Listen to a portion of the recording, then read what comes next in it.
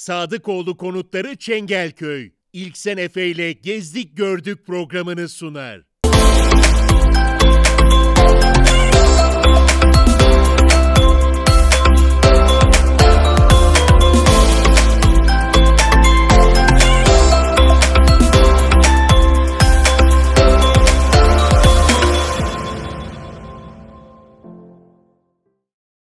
Gezdik gördükten herkese iyi hafta sonları. Ben İlksen Efe. Geçen hafta size Kuzguncuk'tan ve Çengelköy'den seslendik. Bu haftada çok özel bir semtteyiz.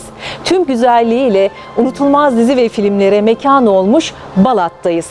Balat çok kültürlü yapısını tüm renkliliğiyle bugün bile hala korumakta ve Arnavut kaldırımlı yokuşlarıyla, geleneksel mimarisindeki evleriyle, dar sokaklarıyla izleyenlere her zaman görsel bir şölen yaşatmakta. O zaman ne diyelim? Programımız başlasın.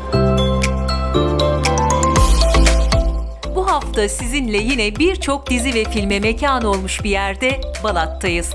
Önce meşhur Çıfıt Çarşısı'nda geziyor, antikacılara mikrofon uzatıyoruz ve aşkların en güzelinin yaşandığı Cennet Mahallesi dizisi sokağında anılarımızı tazeliyoruz. Daha sonra görkemli yapısıyla Balat'ın simgesi olmuş Fener Rum Lisesi'ndeyiz. Fener Rum Patrikhanesi'nin ardından çocukluğumuza yolculuk yapıyoruz. Balat Oyuncak Müzesi'ne gidiyoruz. Balat'ın Arnavut kaldırımlarından yürüyerek Mimar Sinan eseri Ferruh Ketuda Camii'ndeyiz. Ardından butik bir köftecide kısa bir yemek molası veriyoruz. Balat'ın renkli sokaklarında yürüyor, şık bir İtalyan restoranında geleneksel lezzetimiz lahmacunun tadına bakıyoruz ve Balat'ın en renkli kişiliği Kozmik Dedenin enerjisiyle bu hafta size veda ediyoruz.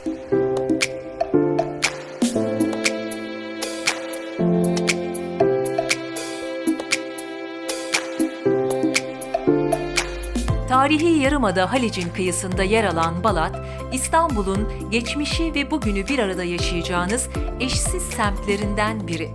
İsmi Rumca saray anlamına gelen Palatyon'dan geliyor.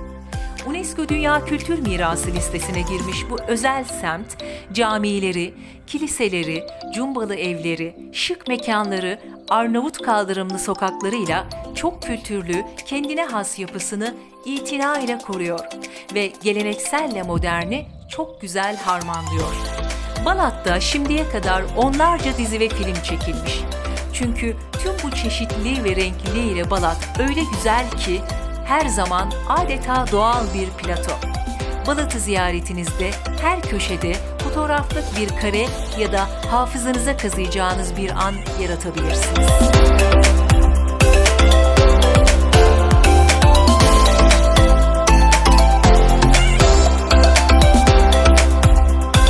Balat'ın en renkli sokaklarından birindeyiz. Çıfıt Çarşısı burası. Şu anki ismiyle Leblebiciler Sokağı.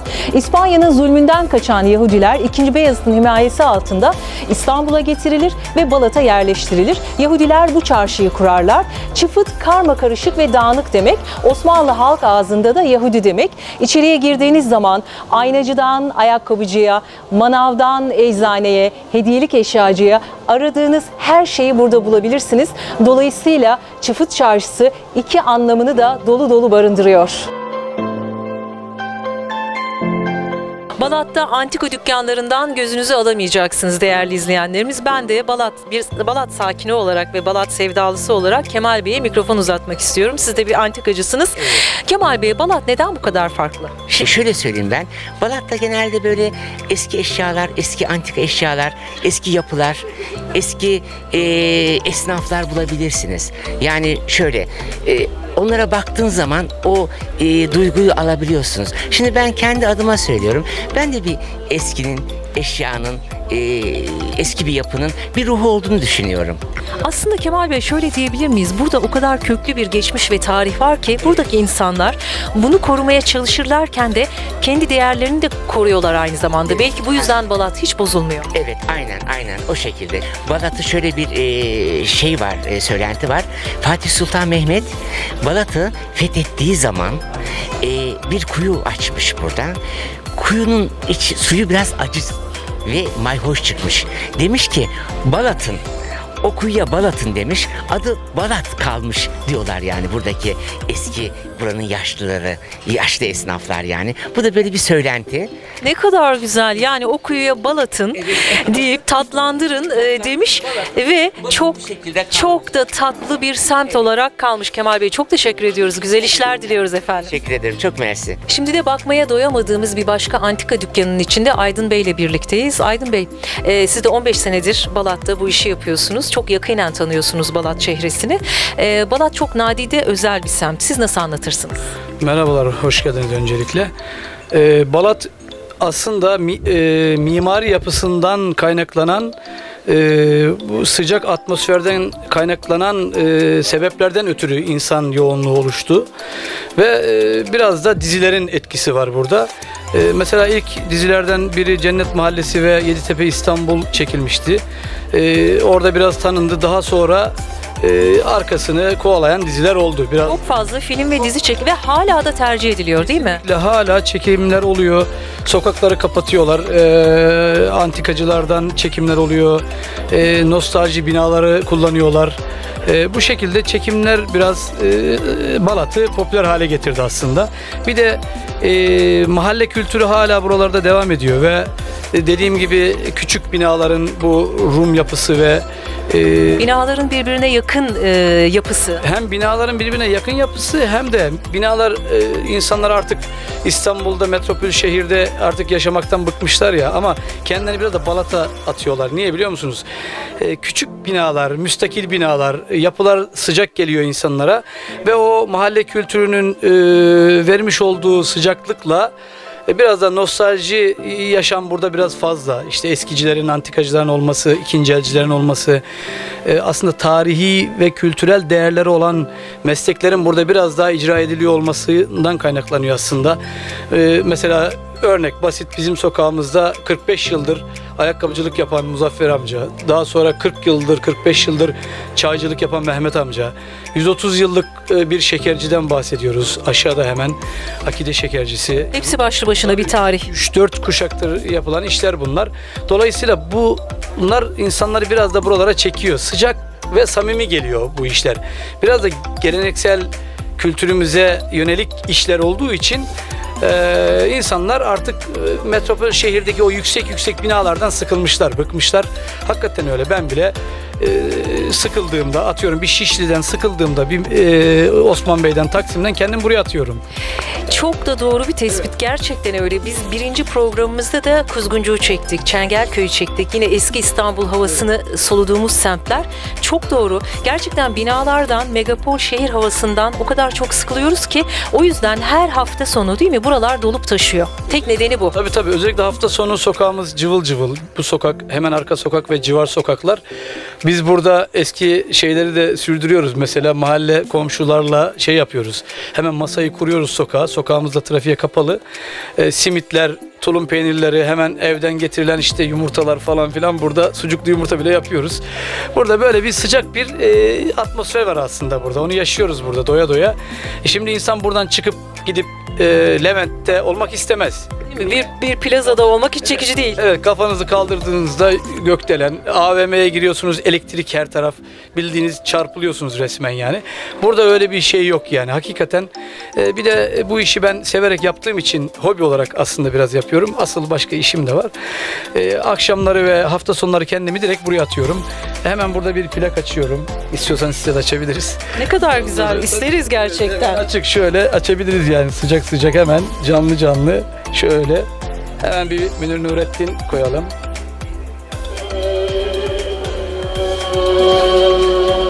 Bakar mısınız izleyenlerimiz? İşte şimdi bunu dinleyen insanda stres kalır mı?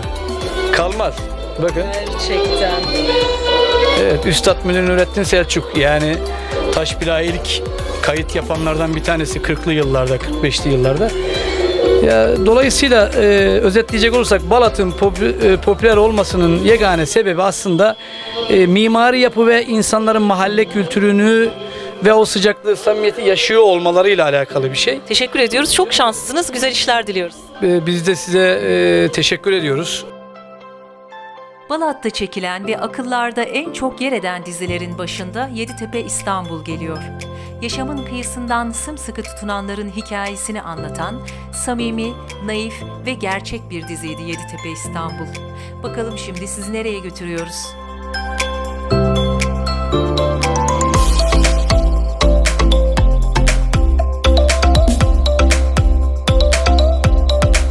Hoş geldiniz. Burası Cennet Mahallesi. Burada yaşanır aşkların en güzeli. Buradan yankılanır namelerin en şahanesi ve burada dans eder İstanbul'un en güzel rakkasesi. Tüm coşkusuyla bizi her hafta ekrana kitleyen Cennet Mahallesi dizisinin sokağındayım şu anda. Yunus ve Pembe'nin evinin tam ortasındayım. Sol tarafımda gördüğünüz ahşap bina Yunus'un evi ve hemen karşısında sarı binada Pembe'nin evi. Her hafta tatlı tatlı atışırlardı ama aralarındaki sevgi hiç eksik olmazdı. Evlerin içinden sevgiler hiç eksik olmasın diyoruz. Dizinin üstünden 16-17 yıl geçmesine rağmen burası her hafta ziyaretçi ağırlıyor.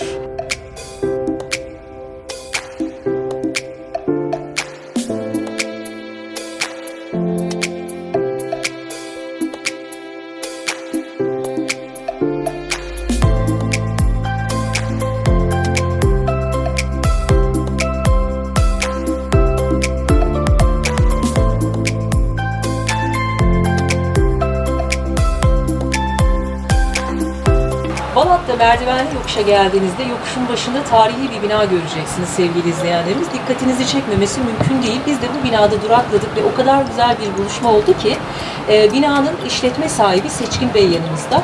Seçkin Bey siz Balat'ta çekilen filmlerle ilgili bir kitap yazdığınızı söylediniz. Evet. Çok mutlu olduk sizinle karşılaştığımız için. Çünkü biz de bu konseptle İstanbul semtlerini geziyoruz.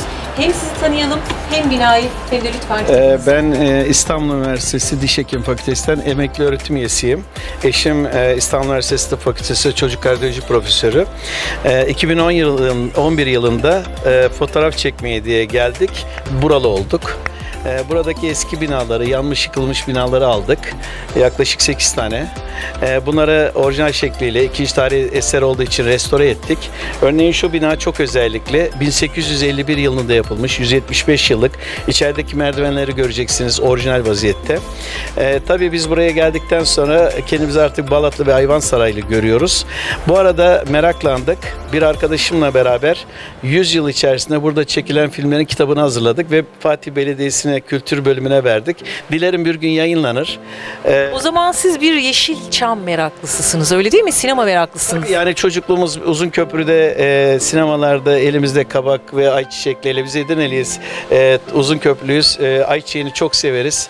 Onun için e, çoğu Trakya'nın ön dişlerinde e, çekirdeğin sı- e, gireceği şekilde yerler oluşmuştur aşırmalar. E, oradan başlıyor. Tabii bütün e, benim yaşımdaki insanlar, 70 yaşındaki insanların mutlaka hayatında Yeşilçam vardır. Her döneme ait e, şeyler var. Biz bunları 10 yıllık dönemler halinde e, düşündük ve yazdık. E, bir dönem geliyor mesela şimdi diziler çok meşhur oluyor. Mesela gidin ileride e, Kolera Meydanı var. Orada 3-4 tane dizi çekildi. E, diğer e, şeye gidin Agora'nın oraya. O dönemde Zeki Müren'in şarkı dönem, Müzeyyen Senal'ın çıktığı dönemlerde ayrı filmler var. E, Yeşilçam filmleri. Ondan önce işte Amerika'dan gelmişler, Avrupa'dan gelmişler. Burada filmler çekilmiş ve unutulmuşlar. Seçkin Bey. Yabancı bir filme Çok. mekan olmuş mu Balat? Kesinlikle yani 100 yıl içerisinde çok yabancı gel. Mesela son olarak e, Fener'de çekilmiş Avustralya'dan gelen bir e, ailenin e, canlandırıldığı bir film var. Şimdi birden siz geldiniz e, hazırlık yapmadım. Hazırlıksız konuşuyorum. Aslında kitabımı açıp hepsini anlatabilirdim.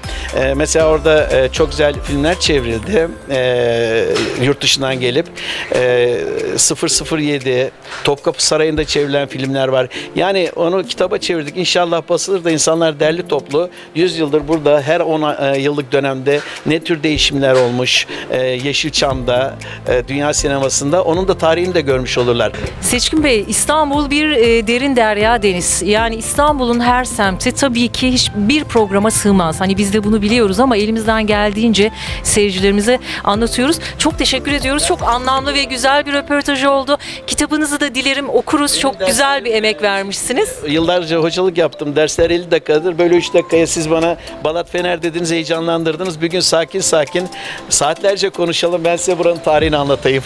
Çok teşekkür ediyoruz. Sağ olun. Size teşekkür ederim. Sevgiyle kalın, hoşça kalın.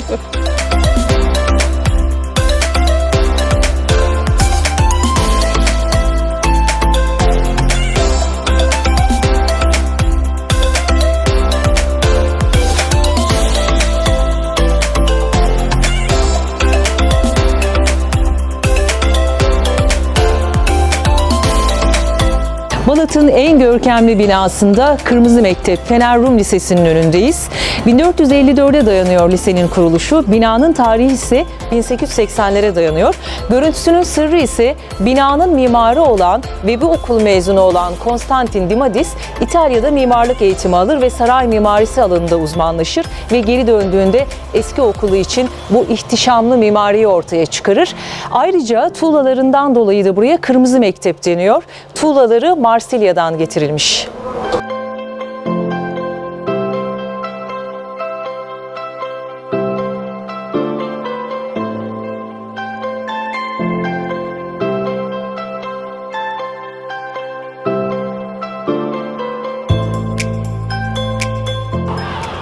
Fener Rum Lisesi'nin arkasında yer alan Meryem Ana Rum Ortodoks Kilisesi'nin önündeyiz. Buradaki Meryem, Roma İmparatorunun kızı olan Maria. Maria Moğollara gelin gitmiş ve hayatı boyunca talihsizlikler yaşamış. Dolayısıyla bu kiliseye Moğolların gelini kilisesi ya da kanlı kilise deniyor. Buranın en önemli özelliğinden biri de 1453'te İstanbul'un fethiyle kubbeli tüm kiliseler camiye çevrilmiş fakat camiye çevrilmeyen tek kilise burasıymış. Bunun nedeni de Fatih Camii'nin mimarı Atik Sinan adındaki gayrimüslime Fatih Sultan Mehmet ödüllendirmek için ne istediğini sorar. Atik Sinan da annesiyle birlikte ibadet ettiği bu kilisenin kilise olarak kalmasını istediğini söyler ve Fatih Sultan Mehmet bunun üzerine bir ferman çıkarır. Burası kilise olarak kalır. Fermanlardan biri de kilisenin içerisinde. Balat'taki Fener Ortodoks Patrikhanesi dünyadaki resmi adıyla Konstantinopolis Ekümenik Patrikhanesi Ortodokslar için dini bir merkez. Buradaki patrik de dini bir lider. 1453'te gayrimüslim halklara tanınan haklarla patrikhane yasal bir statü kazanıyor ve Ortodokslar için önemli bir merkez haline geliyor.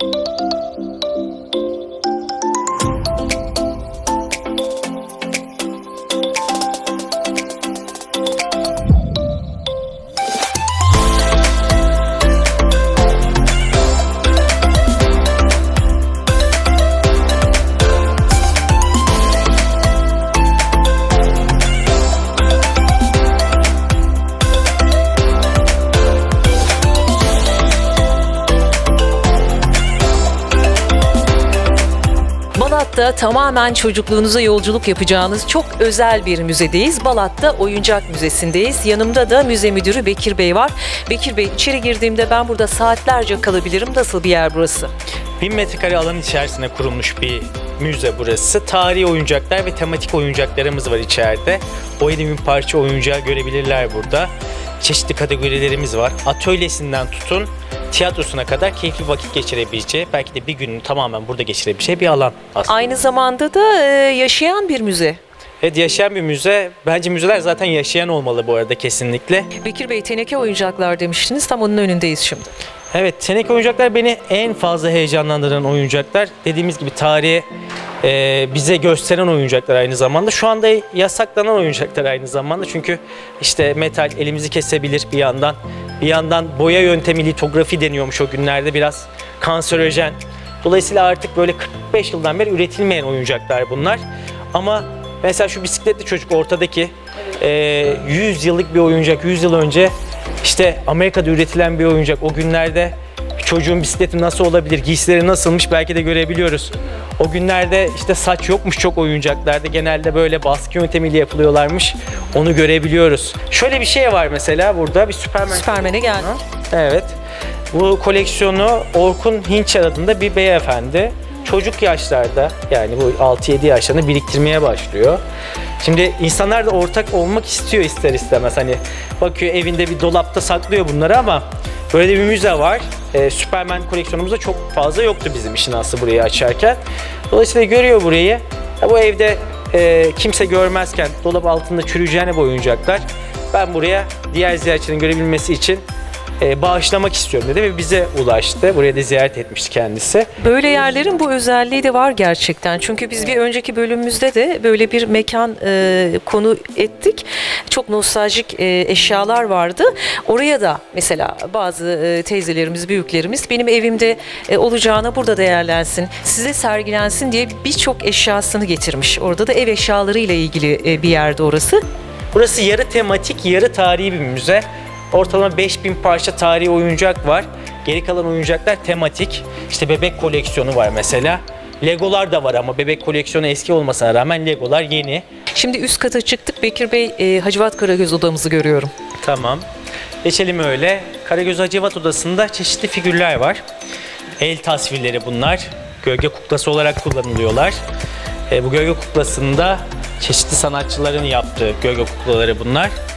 Karagöz Hacivat deyince sadece Karagöz ve Hacivat'tan oluşmuyor aslında bu gölge oyunu. Çeşitli karakterler var. Bebe Ruhi de bir karakter. Ondan sonra Tuzsuz Deli Bekir de bir karakter. Orada Zenne diye başka bir karakter var. Bunlar birleşip çeşitli oyunlarda bir olabiliyorlar. Burada da o karakterleri görebiliyorlar. Aslında neye şahit oluyoruz? Mesela e, meyan şerbetçileri yok günümüzde çok fazla ama meyan şerbetçisini görebiliyor mesela burada. O karakter nasılmış, nasıl dolduruyor bardağı meyan şerbetini, din adamları nasıl giyiniyormuş bunları görebiliyor. Bir de burada canlı olarak canlı demeyelim e, hafta sonları tiyatro var ama hafta içleri de böyle projeksiyon perdesinde Karagöz Hacivat'ı izleyebiliyor. Hemen yan odaya geçtik. Askerler. Evet kurşun askerler aslında çok önemli bir tarihe sahip. Özel, özel oyuncaklar bunlar. Askerlerin kıyafetlerini, işte Napolyon'un mesela eee, tahta çıktığı anı, çeşitli devlet büyükleri, Churchill, Wells gibi kişiler bile kurşun askerlerle oynamışlar. O günlerin popüler oyuncaklarıymış bunlar. Özel oyuncaklarıymış. Evet, burada da 3500 tane kurşun asker var. Tabii sadece yabancıların kurşun askerleri yok. Bizim de özel savaşlarımızı anlattığımız, Çanakkale zaferimizden bahsettiğimiz, Osmanlı padişahlarından bahsettiğimiz alanlarımız da var kurşundan. Korku odasına geldik. Burası da Sinema, Sinema. burası. Evet korku filmlerinin karakterleri de var. Ee, burası 13 yaş üzeri bir oda. Kapıda da belirtildiği üzere. Çeşitli film karakterlerini burada görebiliyorsunuz. Chucky'yi de görebilir buraya gelen. Titanic'in batış sahnesini de görebilir. Chucky olmadan olmaz zaten. Evet maalesef.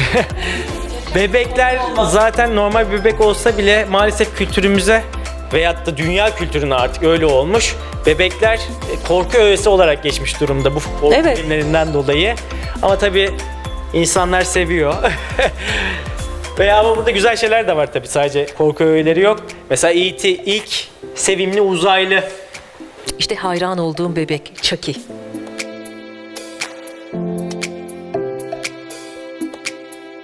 Şimdi atölye alanındayız. Burası tabii sosyal bir alan dedik. Müzeler öyle olmalı zaten.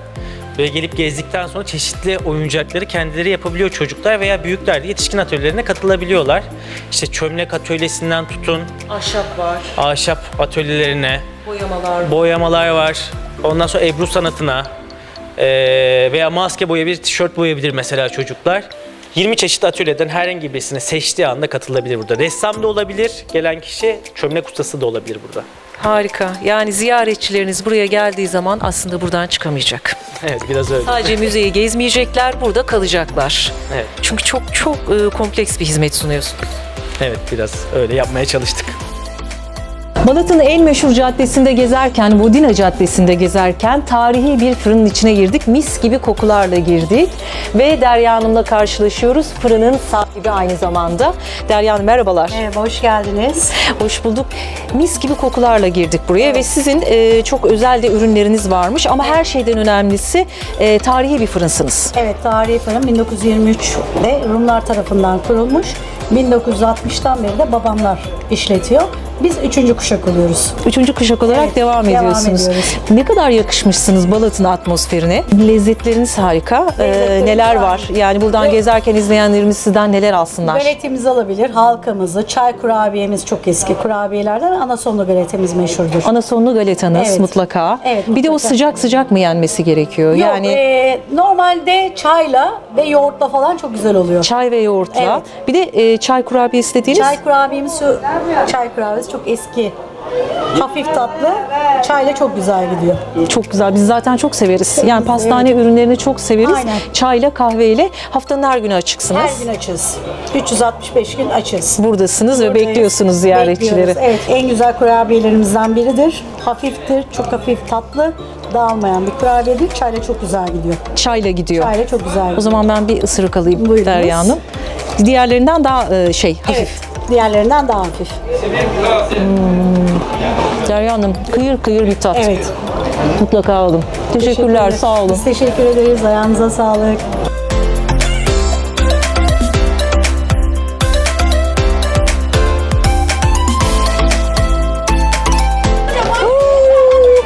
Siz nereye için nereye geldiniz? Balat gezisine Balat gezisine. Sevdiniz mi Balat'ı? Çok güzel değil mi? Güzel. Hadi iyi keyifler. Hadi oraya o zaman BBN Türkiye merhaba deyin. Merhaba. Sancaktar yokuşuna doğru çıkıyorum. Fakat buraya geldiğinizde mutlaka rahat bir spor ayakkabı giyin. Çünkü Arnavut kaldırımlı dar yokuşların tadını ancak öyle çıkarabilirsiniz. Yine Balat'ta önemli özel bir sokaktayız. Şu an bile düşündüğümüzde bizi duygulandıran Eşkıya filminin final sahnesi hemen arkamdaki sokakta çekilmiş. Ve bu nokta birçok filme mekan olmuş. Benim ilk aklıma gelen İncir Reçeli. Gezmeye devam ediyoruz.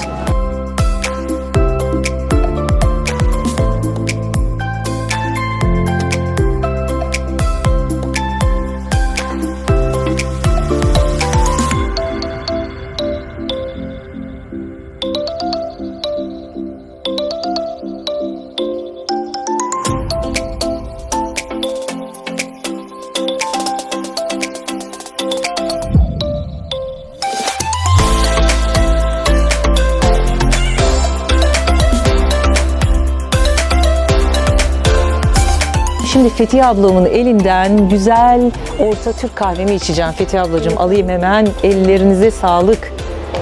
O kadar iyi gelecek ki bu kahve. Ayrıca bakkalınız da tamamen çocukluğumuzun bakkalı. Siz peki doğma büyümü Ba- Balatlınız? Ben 20 seneden beri burada yaşıyorum. Ben de evet gelin geldim buraya. Balata gelin geldiniz. Ne güzel. Balata gelin gelmiş. Fethiye ablamın elinden böyle güzel bir Türk kahvesi içmek çok güzel olmuş bu arada. Afiyet Elinize olsun sağlık. canım, Sağ olasın. Bu arada da bu sokağınız çok meşhurmuş değil mi? Evet. Birçok film ve dizi de çekilmiş. Aynen öyle. Acı hayat mesela bizim bildiğimiz, seyrettiğimiz.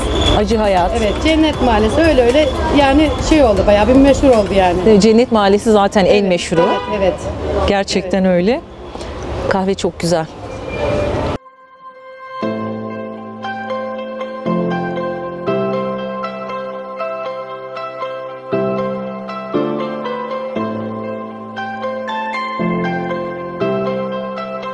...1562 yılında yapılmış Mimar Sinan'ın eserlerinden olan Ferruh Ketuda Camii... ...Balat'ın en değerli yapılarından biri.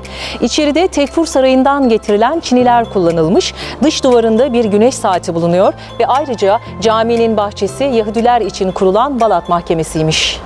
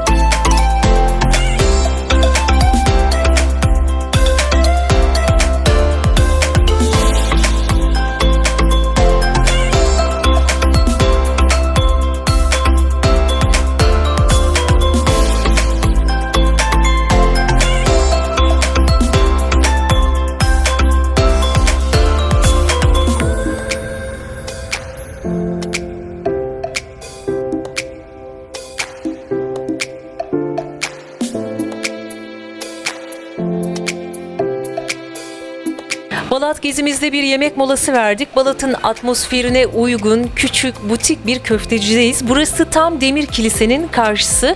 Ee, yanımda da e, mekan işletmecisi var. Hüseyin Bey aynı zamanda rehber, kokartlı bir turist rehberi.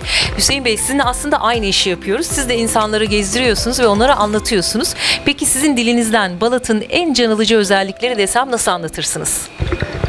Yani aslında e, başta dediğiniz gibi küçük terimi. Balat küçük bir yer ama aslında çok büyük bir yer. Balat'ta kültürler var. Balat'ta çok değişik insan tipleri var. Çok farklı kültürel bir yapısı var. Çok farklı, farklı bir dini yapısı da var. Balat'ta hem Yahudilik, Hristiyanlık, sonra Müslümanlık bir arada uzun süre barış içerisinde yaşanmış bir yaşanmışlıklar da var Balat'ta. Tam bir hoşgörü semti değil mi? Evet evet kesinlikle öyle. Burada Müslümanların marjinal kesiminde bulabilirsiniz. Yahudileri de bulabilirsiniz. Patrikhaneyi de bulabilirsiniz. Yani hepsi bir arada uzun bir süre, çok uzunca sayılacak bir süre barış içerisinde yaşamışlar. Çok kültürlülük, çok renklilik hem yapılarına hem tarihi yapılarına hem kültürüne yansımış. O da aslında Balat'ı tam bir mozaik yapmış. Siz peki Balat'ı gezdiriyor musunuz, anlatıyor musunuz? Yani çoğunlukla geziyorum ama aslında burası bana ait olduğu için daha çok iş yerimde duruyorum.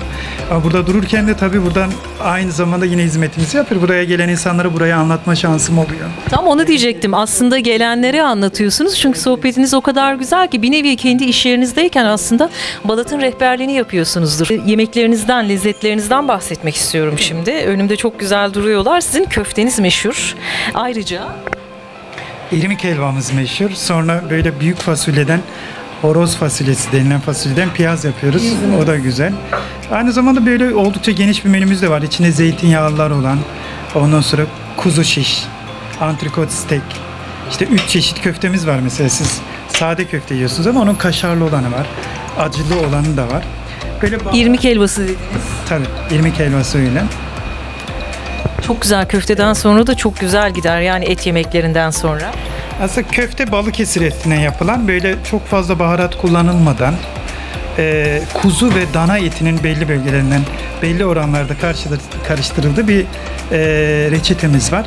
Onunla yapıp gayet mutlu buraya gezmeye gelen insanlar beğenilerini sunuyorlar. Zaten oldukça fazla böyle ünlü insanlardan da ziyaretçilerimiz oluyor. Çok güzel. Öyle güzel anlattınız ki şimdi ben e, tadıma geçmek istiyorum. E, çok teşekkür ediyoruz programımıza konuk olduğunuz için. Afiyet olsun ben teşekkür ediyorum. E, ve e, ben e, karnımı doyurup Balat'ı gezmeye devam etmek istiyorum.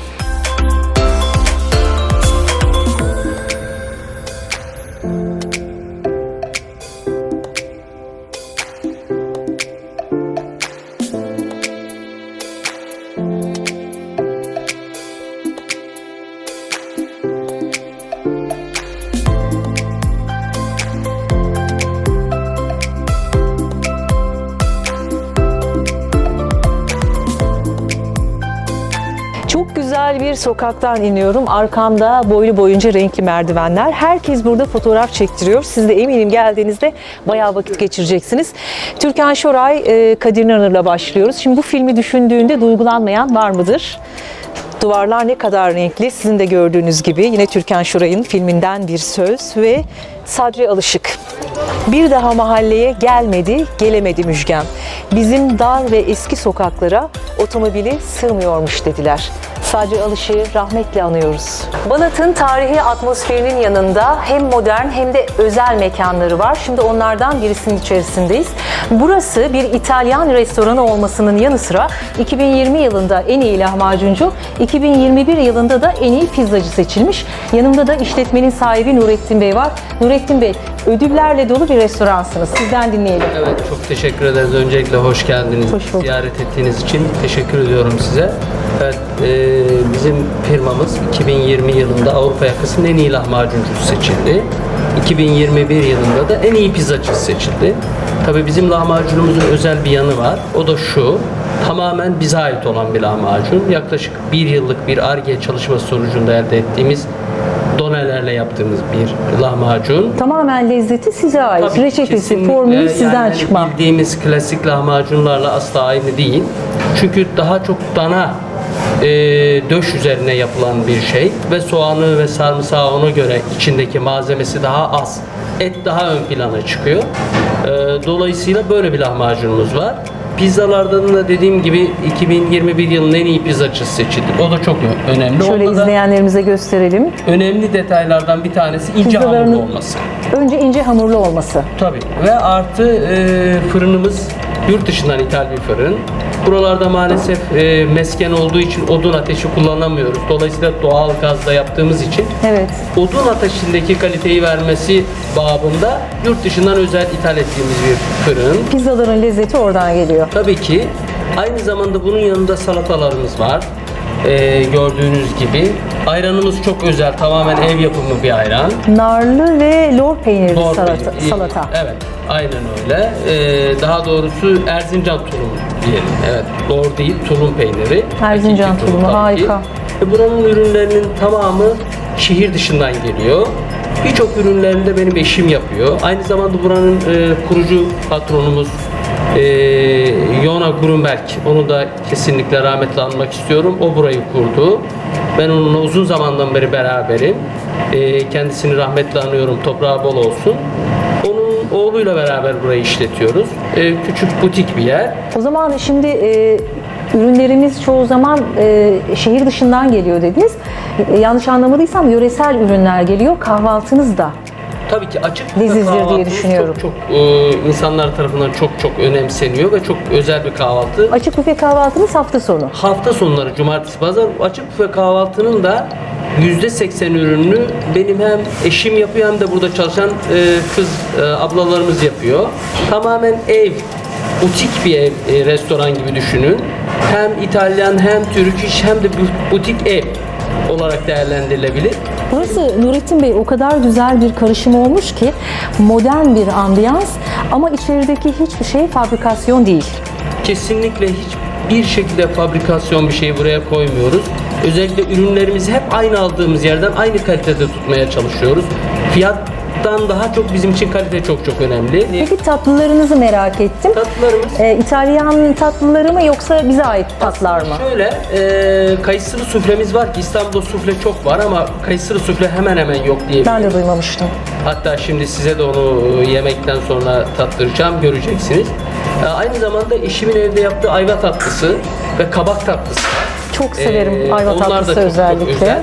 Dediğim gibi bütün ürünler burada az kalem ama tam özel olarak seçilmiş ürünler. Çok teşekkür ediyoruz. Çok güzel bir röportajdı ve çok da güzel bir masa hazırladınız bize. Gerçekten bu narlı, e, tulumlu değil mi? Tulum peynirli ve Evet. narlı salatanın Erzincan tulumu ve narın e, görüntüsü bile o kadar iştah açıcı ki eminim hepsi çok lezzetlidir. Tekrar teşekkürler. E, ellerinize sağlık. Hepsini afiyetle yiyeceğiz biraz sonra. Afiyet olsun. Tulumla ilgili şöyle bir şey söyleyeyim. Aslında tulum Erzincan'da meşhur olmuş ama benim tulum, tulumum Çemişgezek'ten geliyor. Tunceli. Tunceli. Tamamen dağda.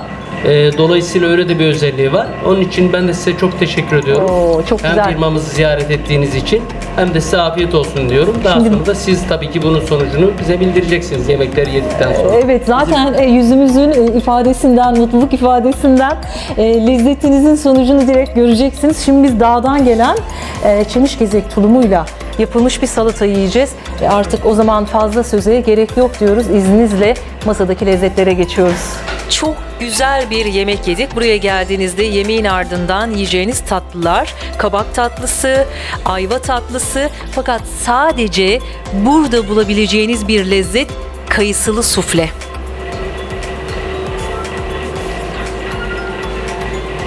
İnanılmaz lezzetli.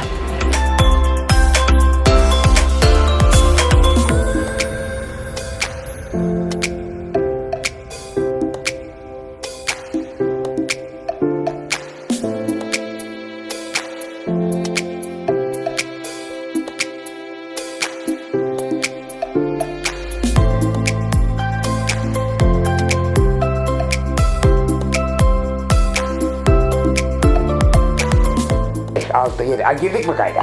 Girdik kayda. Nasıl enerjiyle girdik? Evet, Şimdi yakalandık. balat dedik, renklilik dedik, çeşitlilik dedik. En sıra dışı yerindeyiz. Çünkü kozmik dededeyiz efendim. Şimdi ben sizi çok iyi biliyorum ama çok iyi tanımıyorum. Siz kimsiniz? Ben e, Erdinç Özgürük. E, e, gemilerde çalıştım. Uzak doğu, uzak doğu dolaştım. Nepal, orası burası Hindistan, Hindistan, Pakistan, Avustralya, Erdi, neredeyse e, dünyayı dolaştım. Almam gereken bir şeyler vardı. Onları alıp buraya gelmem gerekiyormuş. Buraya geldim. Siz kendinize kozmik dedeyi e, ne düşünerek koydunuz? Yani kozmik deyince sizin aklınıza ne belirli? Varoluşumuzda var olan Allah'ın vermiş olduğu güçler var. Bunları kullanamıyoruz artık. Bunları kapatmışlar. Bunları çok rahat, çok basit şeyler anlatıyorum birçok yerde. E, bunları kullanmanızı istiyorum. Yani aklı kullanın. Dünyanın bir parçasıyız diyorsunuz ve Evet. herkes de bunun idrakına varsın diyorsunuz değil mi?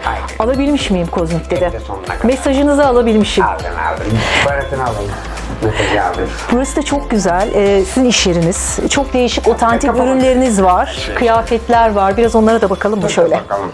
Böyle gördüğünüz gibi e, ilginç şeyler. Hepsinin bende bir anlamı var.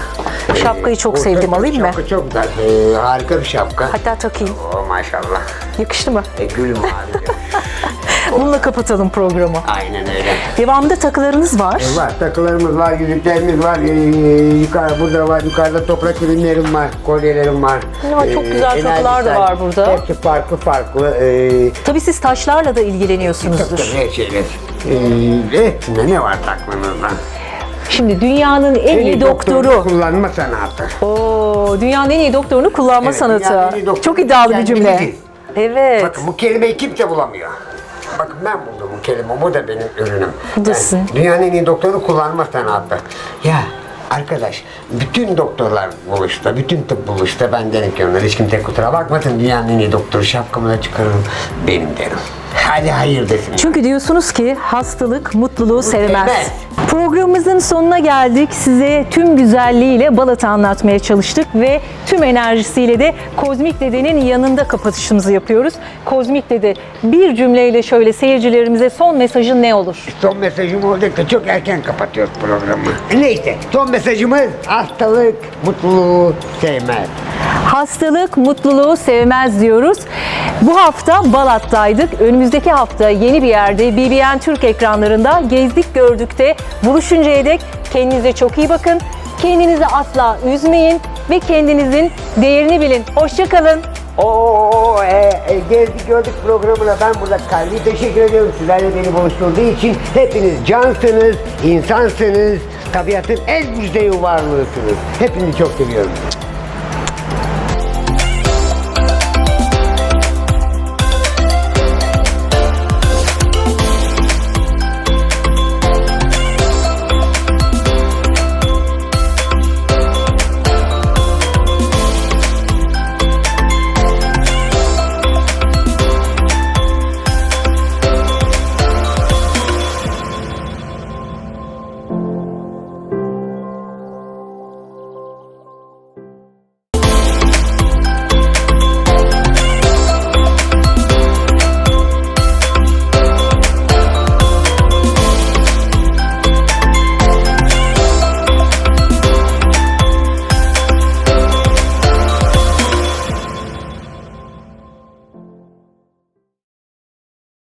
Sadıkoğlu Konutları Çengelköy, İlksen Efe ile Gezdik Gördük programını sundu.